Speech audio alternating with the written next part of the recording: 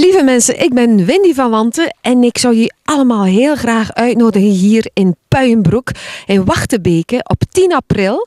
Want dan komen we allemaal samen met een volledige sterrenparade. Allemaal om alle dromen waar te maken van onze lieve kindjes die dat allemaal nodig hebben. Dus lieve schatten, alsjeblieft, kom aan, schrijf jullie in. Sterrenparade in Wachtebeke, 10 april. Kom aan, en we gaan maken er één groot feest van.